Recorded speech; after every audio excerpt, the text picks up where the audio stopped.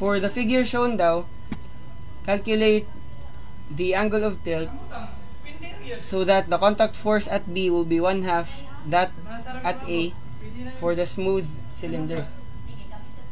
Yan. So, yung importante lang talaga dito is uh, yung geometry na component. So, yung approach ko dito, kung meron tayong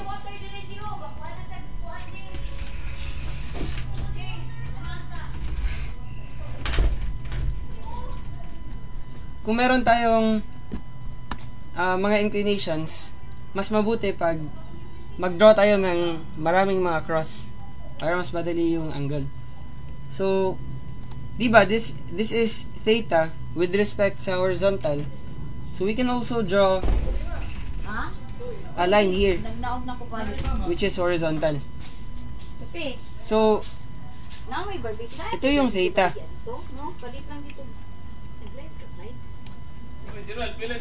Yan, theta yan.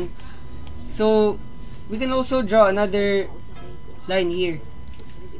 So, copy ko na lang yan. Diyan. If this is theta, theta din to. Itong dalawa. I hope you agree.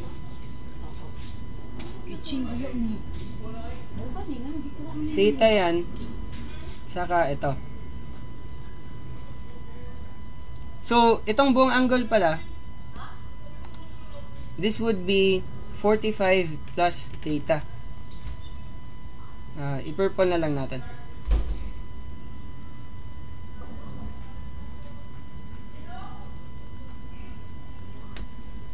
And then,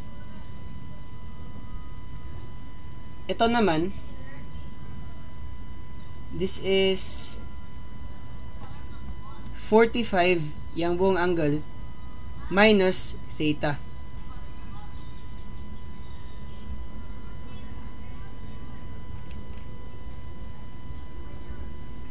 Yan. And then after which we can uh, 'di ba ito yung contact point at A, ito naman yung contact point at B. So sa point na yan, let's draw a vertical line para mas madali siyang tingnan. So, vertical line yan.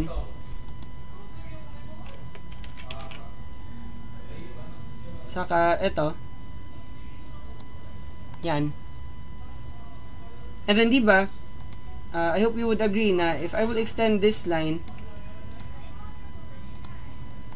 hmm, wait lang ah.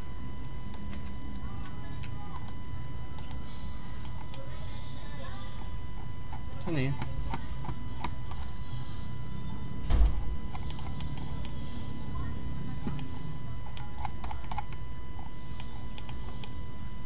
Yan. If I will extend this line naman, then di ba, we can form a triangle na. This is a triangle. And then, dito naman, if I will extend this, yan, then this is also a triangle. Yan. Now, the reaction forces dito, eh, would be perpendicular to the surface. And mag-act kasi yan siya sa center ng circle. Toward the center. So, sabihin natin, ito yung NA. Ito naman yung hmm, perpendicular ba yan? Ito yung NB. So, yung inclination niya, if this is 45 minus theta, 90 minus 45 minus theta would be still 45 minus theta. So, itong angle pala dito would be 45 minus theta din. And then dito naman, if this is 45 plus theta, yung inclination ng triangle na yan, ito,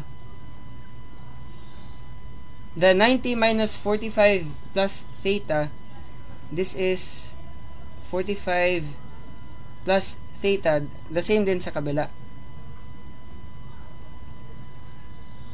So, 45 plus theta. Yan. So, we can now sum up forces horizontal. Now, we have NA and then uh, sine kasi this is with with respect sa vertical NA sine 45 minus theta. Yan. And then,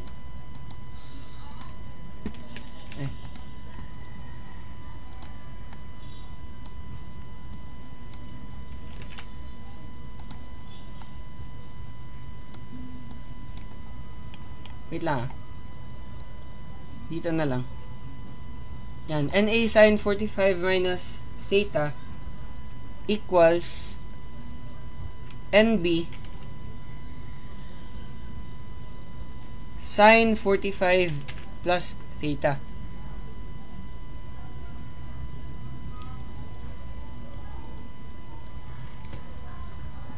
Yan. So, yung nasa question is the contact force at B will be one half that of A.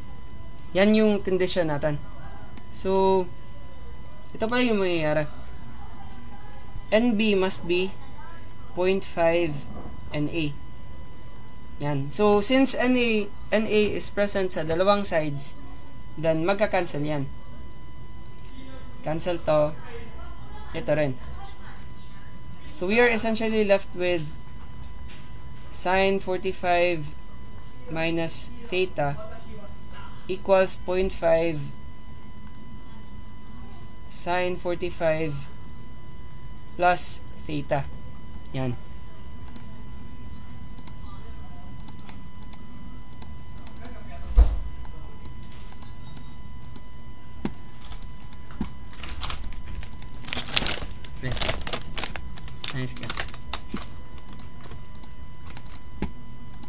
So, solving theta,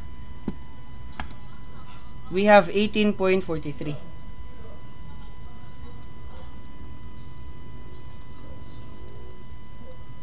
Yan.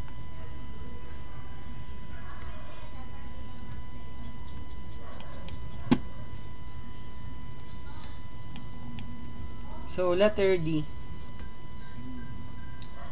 So, itong mga problems na to, madali lang talaga pag uh, if you know how to break break it down. Yan.